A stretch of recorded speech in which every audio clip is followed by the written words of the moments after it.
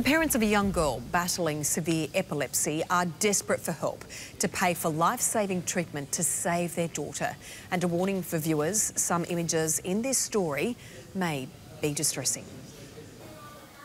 For little Madison Graham, this is her frightening reality. It's okay, it's okay. She suffers from partial focal complex seizures, otherwise known as chronic epilepsy.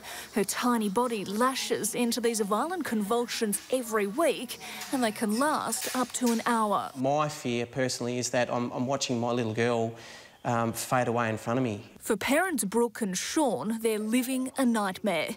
At just four years old, Maddie has spent more than half her life in hospital and it's cost the family tens of thousands of dollars.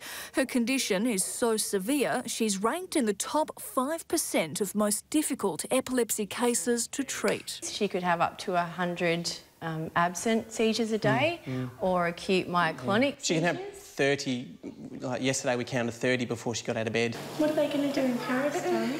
She's yeah. having some seizures. Right. Doctors are now warning if she doesn't get better soon, her brain will slowly scramble and she'll suffer irreversible damage. Sean says they're beginning to lose hope it hurts, you know. And as a parent, you would sell your soul to, to give them what all kids should have. But a new cutting edge scientific based treatment available in WA is their last chance to save Maddie's life.